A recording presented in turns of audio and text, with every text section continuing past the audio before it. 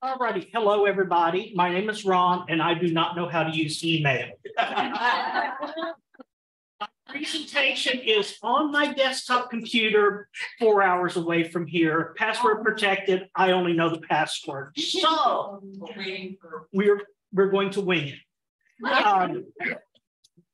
Um, so um, everything in our lives nowadays is marked by COVID and inventory was no exception for our library. We shut our doors on March 18th for COVID. Our board was gracious enough to continue pay for everyone. We felt guilty taking money for nothing. So we have a huge building and only six people. We came into work anyway. And we decided since um, we needed to be spread apart and an inventory would take us to all corners of the building, we decided to do our first ever inventory. We had not done one in six years. Um, we did a full inventory in January 2014, right before we migrated to Evergreen, and had not done one since, um, mainly because I didn't know how to do it. Um, and the previous versions of Evergreen, it was not as easy as it has evolved to become. So, like Mickey said, you know, decide there are many reasons why you should do an inventory frequently. Anybody who's been in libraries know those inanimate books grow legs and walk off. And you're not going to know they've walked off without doing an inventory. You might stumble upon them accidentally if someone asks for them. Other than that, you're not going to know. Um, especially bigger library systems, but even this one as small as my library with only seven of us, books get lost um, by patrons and marks lost by your frontline staff, that doesn't trickle back to collection development or administration to know, hey, maybe we should be replacing that book. Um, and there again, there's another frontline staff issue. Um, we went to pull a book for the hold list. The book's not there. We don't know that it's lost. We don't know that it's been stolen. It might be in repair somewhere in your building. Um, so that somebody marks it missing but never follows up to track it down. So this, the inventory is a good place to start with that. Um, the best thing about uh, doing inventory in Evergreen is it's low cost. And by low cost, I mean no cost. it is your staff time only. Uh, I'm doing some record clean out from about 15 years ago.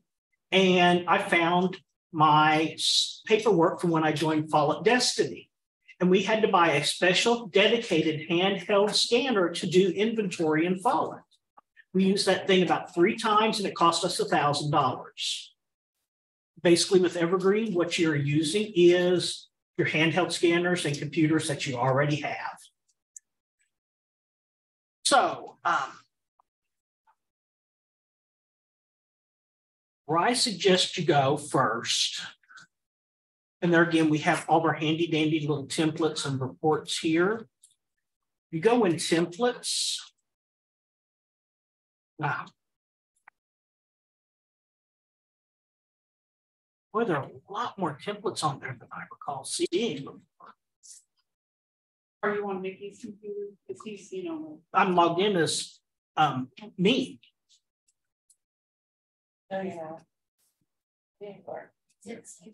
So, okay, so I don't have nearly all of these. So what you're looking for is you're looking for equinox. Your general templates. Oh, there we go.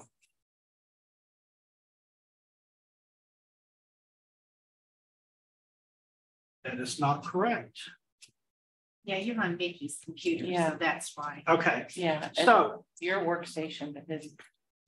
okay, so go in our shared folders, our templates, ME reports.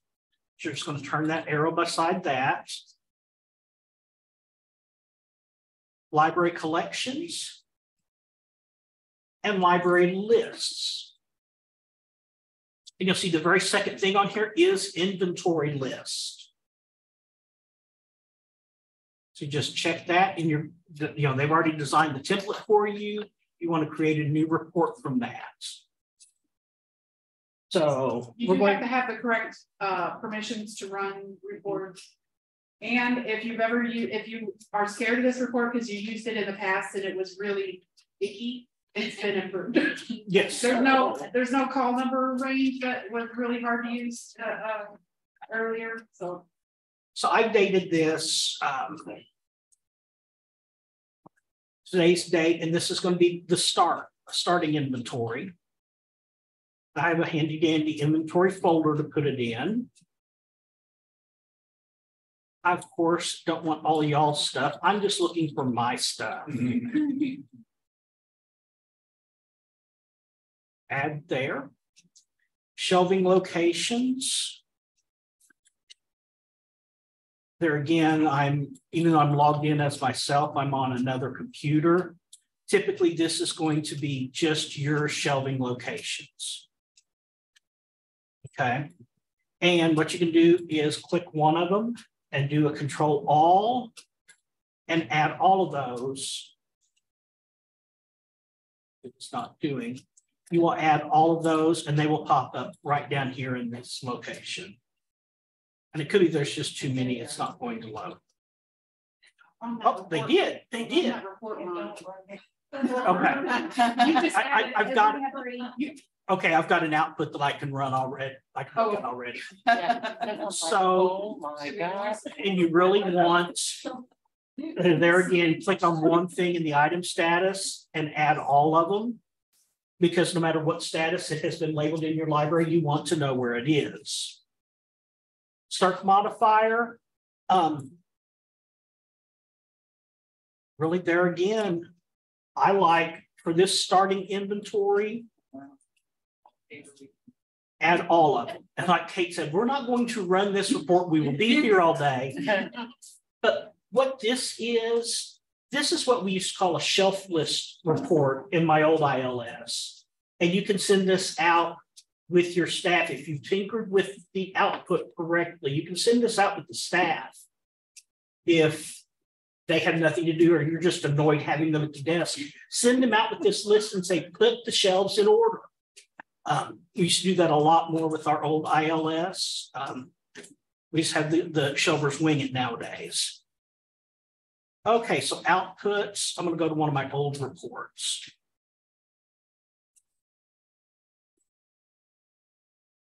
Can I ask a question? Yes, So if you're, if you're running all those shelving locations on that particular date, you need to be pretty quick getting this done. Could you just run what you think you could accomplish in a day?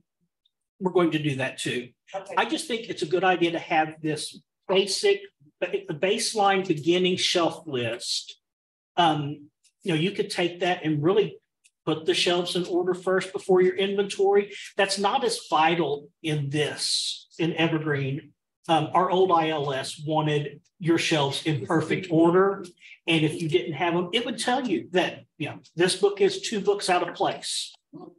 Right. We we did our inventory by schemes. Yeah. Yeah. Yeah. Yeah, we do that. It buzzer. Doesn't seem like such a daunting task when you do that.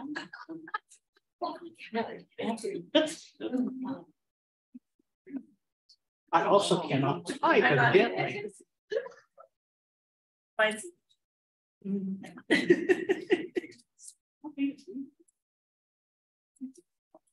Okay, I'm not authorized to get reports out of my own reports folder. That's sad. Ooh. Send in the help team, Equinox.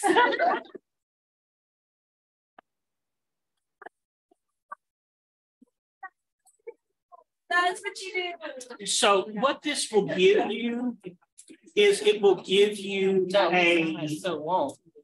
a giant spreadsheet uh, in Excel. Um, smaller libraries that think I'm insane for saying Excel, who wants to buy, you know, a thirty dollar a month subscription to be able to use Excel.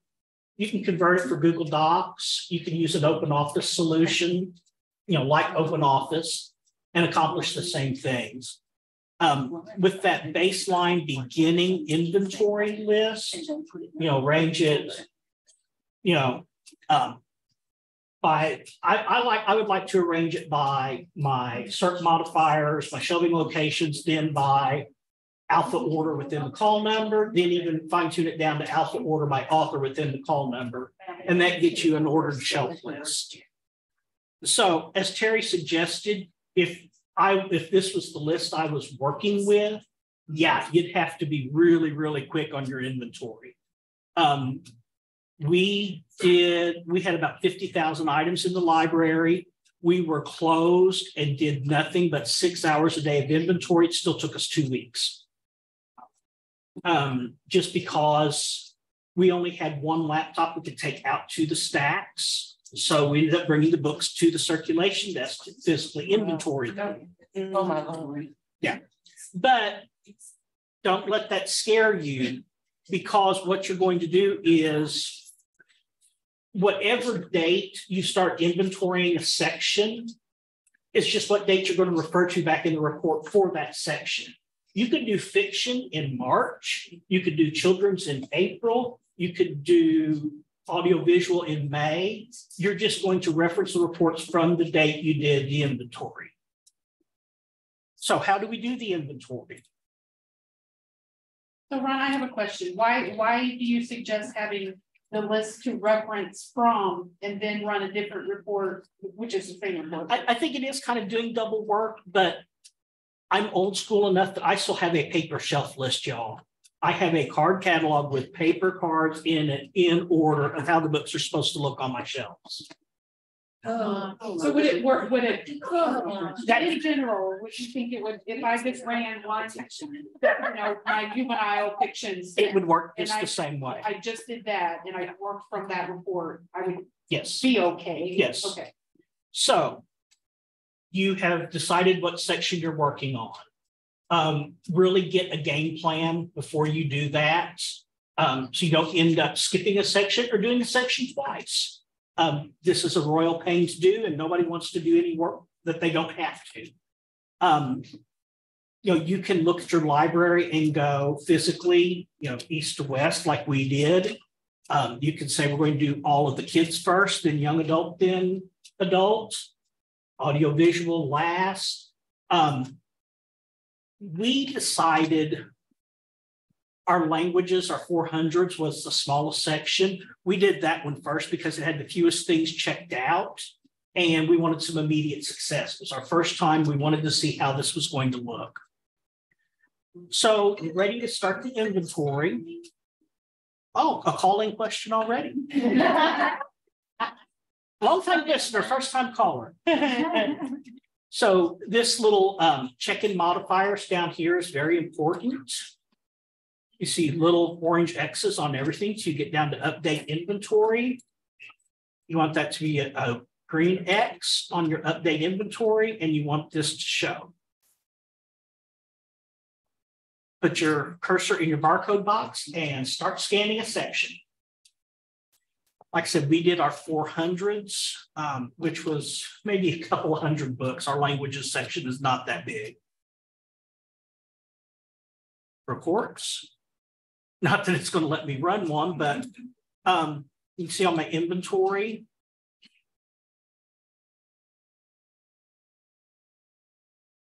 You know, all the different sections we did. We did our young adult on April seventh. We did fiction on April 9th, young adult on April tenth. So what is that report gonna show now that you've scanned the books from the shelf? It's gonna do a comparison and show you what's missing? Hmm, I wish it could, would- I wish I could show you an output. We'll try this one, see if it will let me. Don't think so. No, okay, let's see. Uh-huh. No, that's not it. Won't it show if it's checked out, if it's missing, or if it's there? Yes. It's just, it's a lot.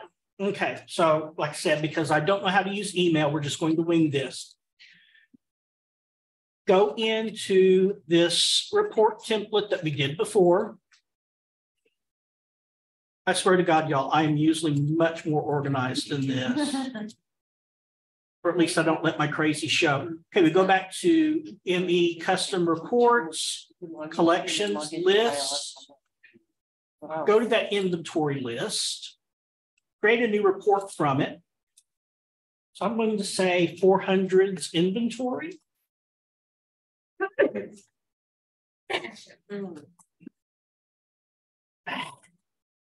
I can't email and I can't type. And I'm gonna put today's date on this.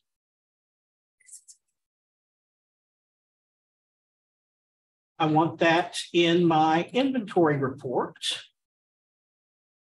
Like I said, I only want my stuff.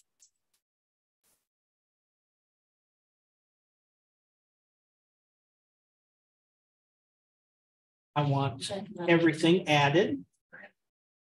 Since I'm doing my four hundreds, they are strictly books.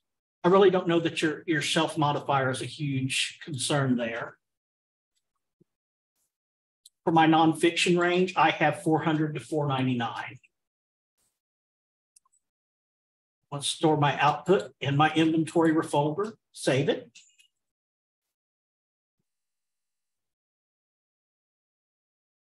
Now, maybe it will let me access this one since I'm creating it. Ah, There we go. No, Oh, wait, wait, wait, wait. If you type in your login and password right here, it it will let you in. See how to get these off. no, it will not. It's not workstation. It's not his work. It's not all Right. Okay,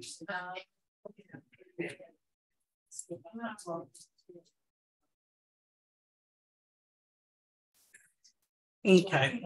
Just give me, give me just a second, y'all. Will it let you email it to Vicky and you Log can in. pull it up that All way? it is, He just- he like, just changed it. not the jury ever got.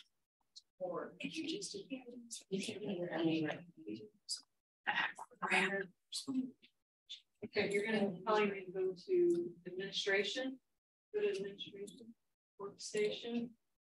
Registered workstation and change it out, go so where it's in. To your li- your library. Here.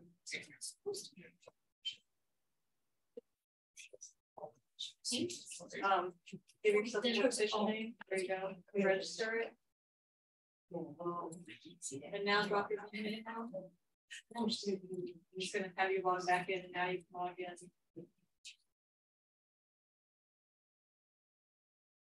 Small library problems. We only have like three computers with logins.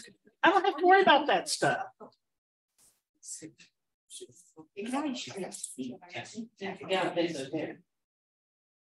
Okay, so going back to my four hundreds inventory, I'm going to review that output. You've got your tabular output, you've got your Excel output.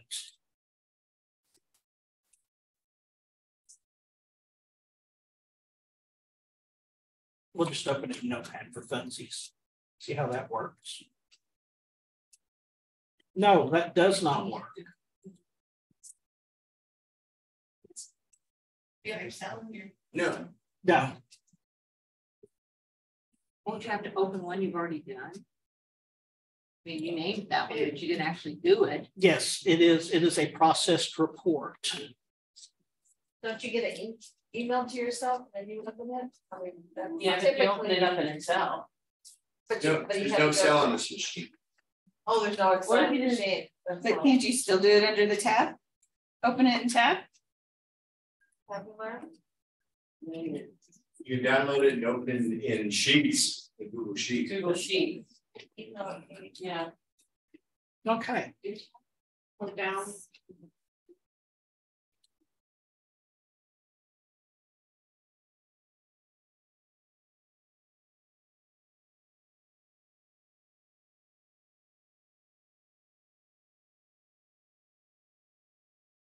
Not Excel.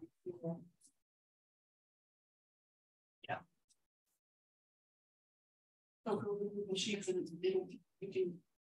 um, You should be able to It'll be your upload. download folder. Yeah. Uploaded in sheet.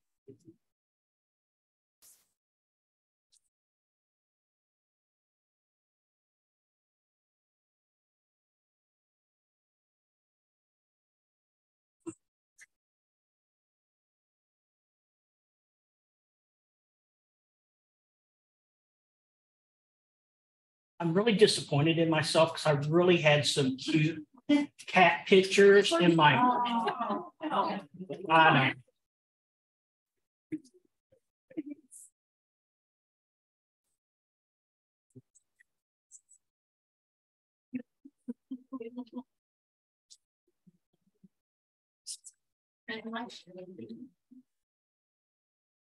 know. Oh, I know, I really like Carrie not in here right now. He's standing up doing a routine for us right now. No, she's not. It's okay, y'all. I will lose sleep tonight beating myself up over this. So Together right now, we're busy, trying to help you and, you know. So on your Excel spreadsheet that you cannot see, I close your eyes. It's an Excel spreadsheet. There is a column that says um, copy status, last date checked in. We're going to sort it by that column. Okay. So you're going to look for the dates, like anything that was scanned 413 or after, because you might start your inventory today. Um, but somebody brings in a book out of your section tomorrow, you still have that update inventory clicker turned on.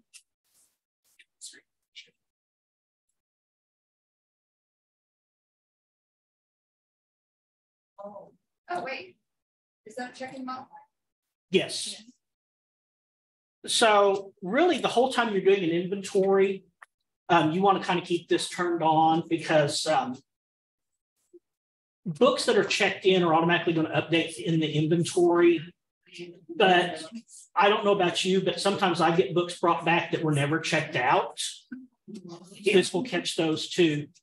But you know, we've done our inventory on 41323. We've sorted that Excel spreadsheet by that column that says copy status last changed. Anything 413 and later day is good to go. It shows up in your inventory.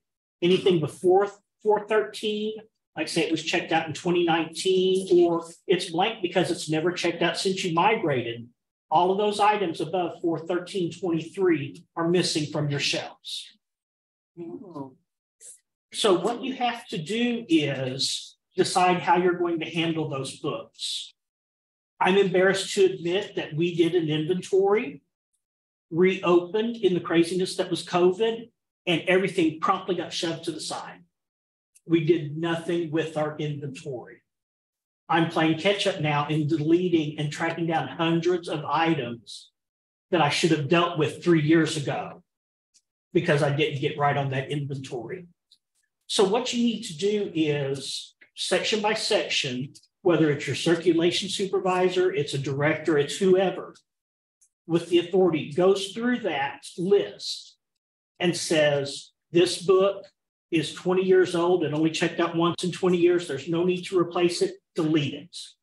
There's no need to mark it as missing or lost on your shelf. You're not going to do anything with it. Get rid of it.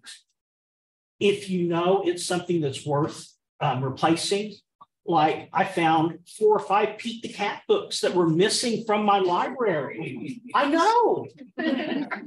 Pete the Cat, Captain Underpants, Big Nate, things like that had been missing for three years. And we were either borrowing from other libraries or the poor kids were just walking away empty handed. You know, those are the things you want to replace immediately as soon as you look at them. Go ahead and replace them. Um, if that's too big a hit on your budget to do it once, um, whether it's a selection list on Ingram or it's a cart in Baker and Taylor, go ahead and throw all those things onto a list or onto a cart and add them to your orders as your budget permits. But do something with that inventory. Um, there's no need for a book that has been lost for 10 years to still be hanging around in the evergreen system. Can you repeat that, please? Kate, Kate says one more time louder for the people in the back. If you've got a book that's been lost for 10 years, it's probably not coming back. If it does come back, it's probably not in condition to circulate. Delete that item. You can replace it, you cannot replace it, but get it out of the catalog. It, it just, there's no need to let those items hang on because what it does It frustrates the patron, whether it's your patron or from another library, because they won't look at that zero of one. All they'll see is it popped up in the catalog. They should be able to have it. Um, it's frustrating for staff when they go to pull for pull lists and your library has the only copy of polls on that bib. And somebody, rather than placing a hold on bib that has 33 copies of polls, has picked yours with only one copy. Your copy is lost, it goes nowhere except the hopeless holds file. So you want to get those lost books out of there to save your frustration, your patient's frustration, and everybody in this room, their frustration.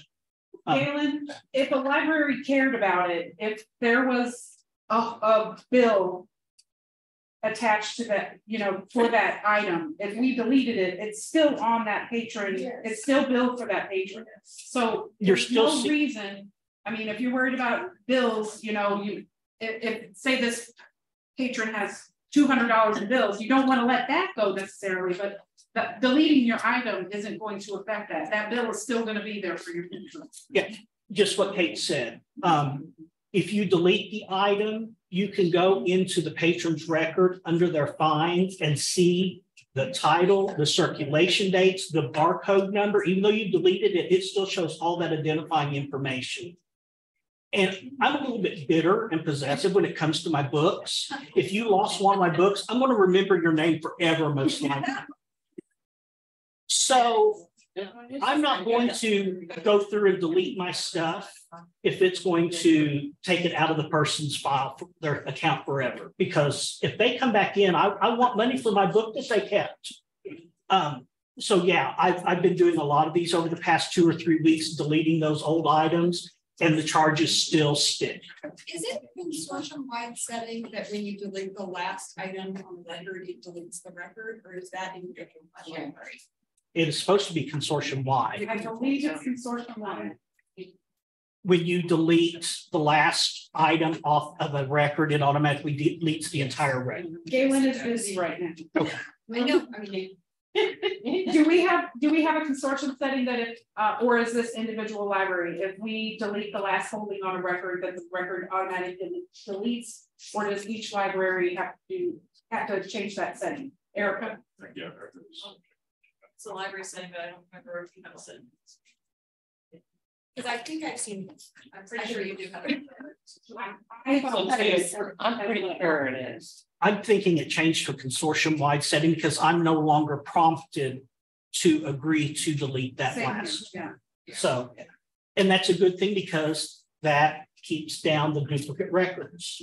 Um, I can't tell you how many times I've gone through a pull list because I'm one of the first people there in the morning. I do the pull list. And like I said, that one record with one item, and you've got two or three other records that are identical. So, you know, I, I go and merge them because I love to merge and, and that way. That way I can move that hold on to another library and then delete my item. Because the whole thing is about getting all of these items out to the libraries as soon as possible. Um, and if you've got that lost book lingering there and you know, it, it sits there for a couple, three days, and then the next library, their copy's lost too, and it sits for a couple, three days. You got a frustrated patron because they needed that book two days ago, and they just forgot to come in and ask you for it. Um, so, like Terry said, do your inventory in small chunks that work for you. You know, come up with a plan of whether you're doing it geographically in your building or by uh, genres, by age levels, or whatever. And then we, as you generate those reports, do something with them. Uh, when I get back to my library and I know how to use, I learned teach myself how to use email. I will attach the presentation that has the photo demonstrations of all this. I will get that on the SCED application and send a copy to Mickey.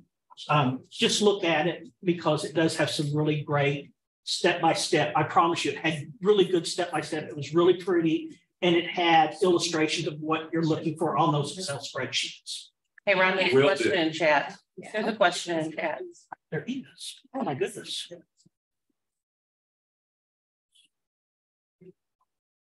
also despite you not having PowerPoint or whatever, I learned a lot. Yes, I did as well, so, Able to follow that. yes. So Becca from Ross County asked, um, says she currently has two wired scanners. Are there wireless scanners compatible with ME? Yes, there are. Has everybody, anybody else found that? Or you, anybody? else? Wireless scanners. Batteries. Yeah, we, Bluetooth. we have several, Yeah, we do. Yeah, So Amazon.com. yeah. I, I bought a wireless scanner for seven dollars at a bin store, you know, of Amazon returns. Yeah. And yeah, I use that thing at my desk. It is compatible with, um, with Evergreen. What you're looking for though is, um, mine. I quit using because it would either scan a barcode or it would scan an ISBN. But it would not do both of them correctly without toggling back and forth between settings. So you want to make sure that you get one that costs more than seven dollars like mine did. It can toggle back and forth between those symbologies and the barcodes. Amazon. Amazon, yeah. And the prices of them have come way down. Okay. So the records, there is some historical changes. It looks like everybody's on board with changes, set to not retain in the future. When it comes to the delete volume, the last copy, it looks like a two thousand fourteen holdover. Uh, WHPL is set to false, everybody has a set to true. So that should probably be changed to true. naturally. So that's probably just an old. Yeah. Right. So the answer is yes, we, the, it's essentially a consortium setting where if you delete the last holding, the whole bib should delete. Thank you. Erin. Alrighty, Thank you, Ron. Appreciate it.